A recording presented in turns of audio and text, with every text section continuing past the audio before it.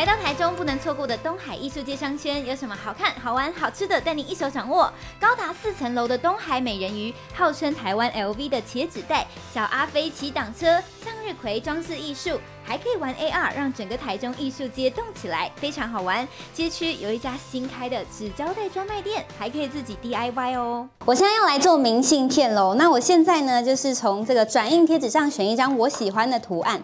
好，那我选这个。有女巫的女巫小猫咪贴一下，再盖个印章，哒啦，独一无二的明信片完成。这边的纸胶带我每个都好想带回家。这些产品呢，大多出自台湾设计师原创品牌，来到台中一定不能错过。下一站要带大家去喝茶。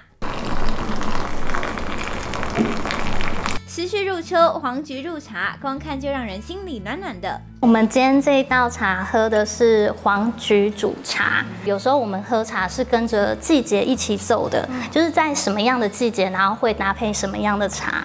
第一次喝到这样的茶，真的很惊艳。主理人说，他用法式料理的手法在泡茶。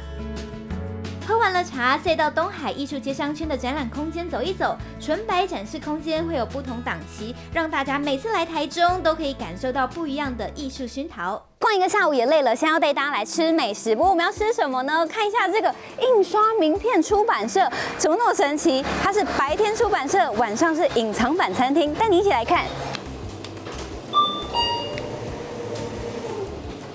你好，欢迎光临，里面请。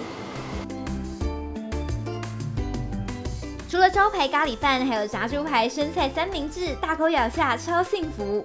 其实我妈妈她本来跟我爸结婚的时候没有不太会煮饭，那她为了跟就是为为了家庭，她就自己去学，然后就她就越做越好吃。然后我妈本来就有这方面的梦想，嗯，然后我爸就帮她圆梦，就装潢了这样一间餐厅给她做。